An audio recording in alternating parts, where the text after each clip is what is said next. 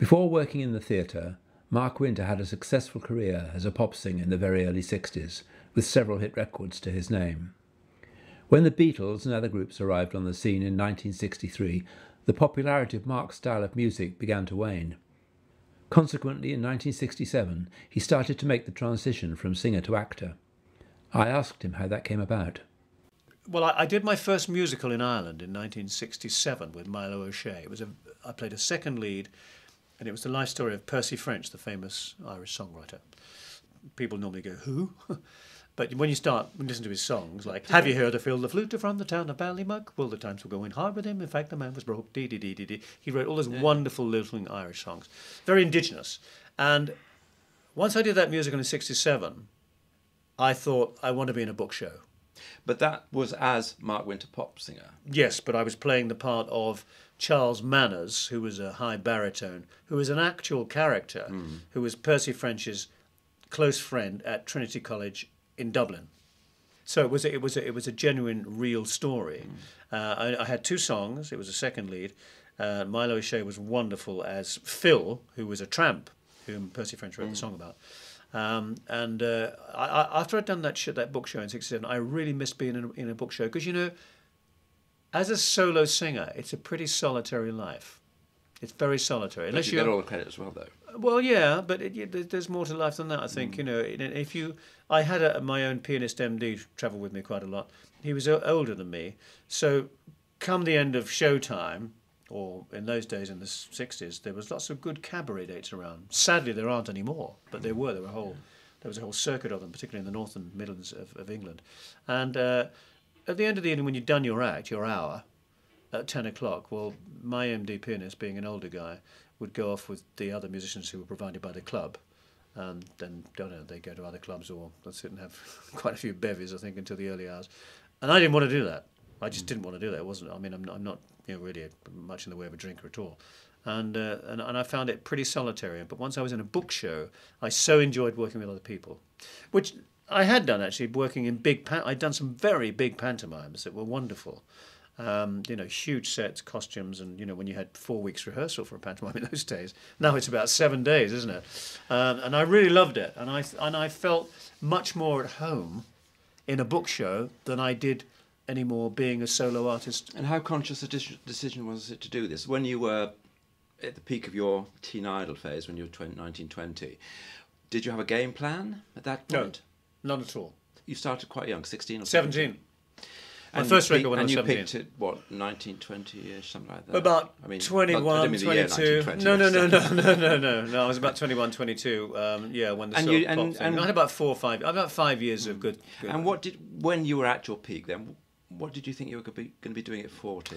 Well, at that stage, you know, Michael, I mean, things were still pretty good in the variety. I mean, mm. who would have thought that I mean, I have some compilations out and four yeah. CDs. And I think it's more on, now than there, there, were even 10, 15 years. Ago. Yeah, ago. there are because I think people are reminded of a kind of times and times that were more fun. I think. Um, you know, of course, in those days, you, you would have about six or seven people on the bill who all had hit records.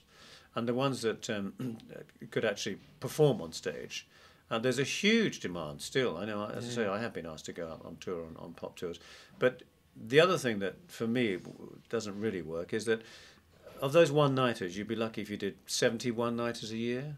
71 nighters. Well, what do you do the rest of the year?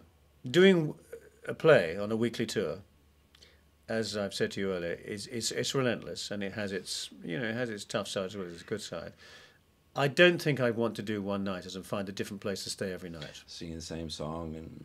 I know that was another thing. I, I really relished being challenged mm. when I did my first musical, and then a musical in London in '69, um, and then uh, the first play, Conduct Unbecoming, in '70. I went to Australia with that for six months, and then I came back and found I was a, like a jobbing actor because I decided to stick with that. And I did lots of other wonderful stuff in rep, apart from Sleuth. You know, I did Macbeth. Uh, you, didn't do, you didn't go to drama school or anything like no, that. No, not at all. But I, I, but I was lucky that I was offered I was offered these parts because it was a bit of trick casting, really, to have but somebody who's in the pop world come and play Shakespeare. Didn't, didn't you find that acted against you to a certain extent? Did, that you weren't taken seriously. No, I was actually because I was very lucky that I had good notices. Um, and I got more and more inquiries to go and play in rep, which I wanted to do because I wanted an across the board experience of all kinds of plays, um, and I was also st- still uh, being seen for uh, musicals and things. So I was I was very lucky that I had an across the board consideration, and as summer seasons and pantomime started to fade out, you know, variety started to die off, um, which is a great tragedy, I think, terrible tragedy. Um, I, I, found that I fitted in well with uh, being able to divide my time between musicals in London. I was in Cats, played Phantom, you know, um, and and Charlie Girl and, and other things. And I was very lucky. Um, what I also oh, Sweet Charity in London, and uh, I, I was just fortunate that, that they came they came away. I was accepted in a different guise when I was in my very first play in London in 1970, which was Conduct Unbecoming at the Queen's Theatre in Shaftesbury Avenue. Cliff sent me a first night telegram saying how much he envied me in doing what I was doing because he wanted to make that transition too into acting. As you know, made a couple of quite good early films, Cliff. You know, as as Presley did, and you know, but then it went the sort of you know in those rather corny musical things. Um, and I saw Cliff in a play actually. He, he wasn't that good. Well, I, I thought Presley could have had a good future, frankly. I really did. Cliff didn't stand a chance. No, I will tell you why. Because I saw him in Five Finger Exercise, you know, the Peter Shaffer yeah. play at the old Bromley Theatre before it was burnt down. There's a new one there now. And he didn't have a chance because every time he mm. came on stage, the audience was full of mums and young girls who oohed and ahed throughout the whole play. But he, he was in a re- couple of reasonably good films. Espresso Bongo was a reasonable Very film. good. And he was Very okay good. in that because he was well cast. He was Yeah. cast to type. Very good. musicals were, were a backdoor entry into straight theatre, but they were certainly a, a transition point for, for somebody who was primarily a singer hmm. to go from musicals then into. Absolutely. into straight theatre. Yeah, but I, I mean, it doesn't happen to everybody. I mean, and I, but I made a concerted and, and firm decision not to go back into the pop world at that stage because I wanted casting people to think of me seriously as an actor.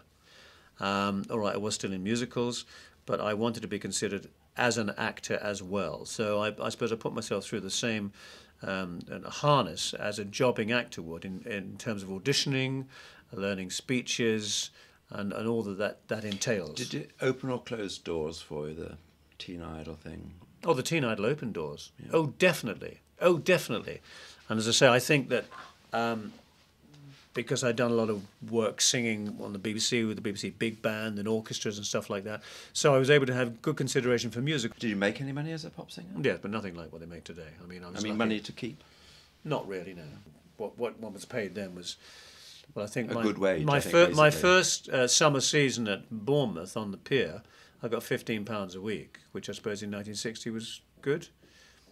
Yeah. But then I but then I, I paid my agent, my manager. I sent some money home to my mother. I paid my digs that were ten and six a night, Those bacon and beans every morning. Happy days. being woken up by the guy next door who got up to empty his um, potty under the bed in the middle of the night, coughing his heart up. Um, but yeah, so uh, good times. I was very, I was, I loved it. It was great. It was what was the most you earned as a, as, as a pop singer, do you think? Three fifty a week was tops. When was that? Being mid 60s? Yeah. That was good then. Yeah, it? very good, very good. Yeah. But, Because but you know, as a solo singer, you have a lot of expenses Yeah. because I pay for my own. I didn't have a band. I didn't have a group or a band, so I paid for my own musical arrangements.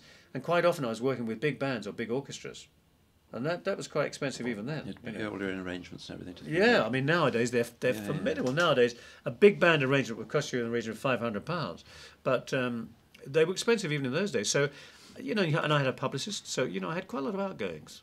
Hmm. Yeah, I did have quite a lot of outgoings.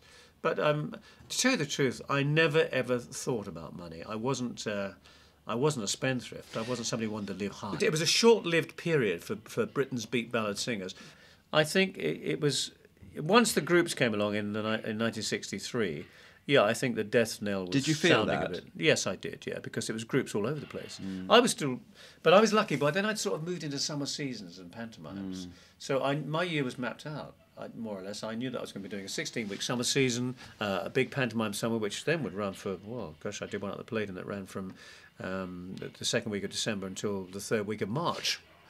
Uh, but yeah, I think it was it was a short-lived period for beat ballad singers, and I could see that the end was coming.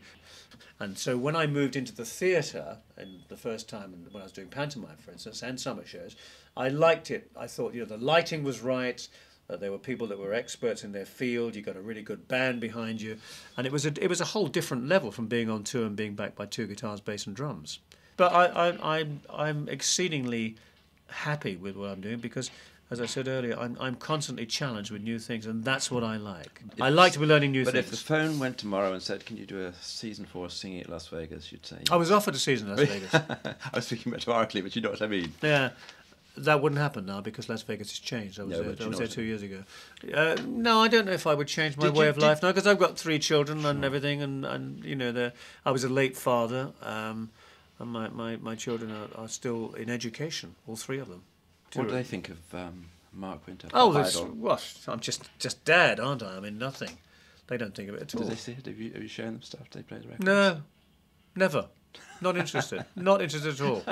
They'd rather play, you know, these funny groups like Elbow or you know whatever these names of groups are that they listen to. Do you miss those days at all? Oh yeah, they were very exciting. I mean, there's a terrific, um, there's a greater harnessing in being an actor and a, a lot more discipline. I mean, you have to look after yourself as a singer, of course, look after your voice and so on. But as an actor, um, the the harnessing is is quite severe. I mean, the discipline is is enormous, both mentally and in every other way. And if you're not a disciplined person as an actor, then I don't think you'd cut it, especially on tour. Especially on the run where you really have to control it, because I imagine it's fairly easy to let it slip and Oh yeah, become a bit oh, blasé yeah. about it. And uh, uh, and there's there's no there's not a lot of margin for error really because it, it, it is a team thing and and you can't just think of yourselves and.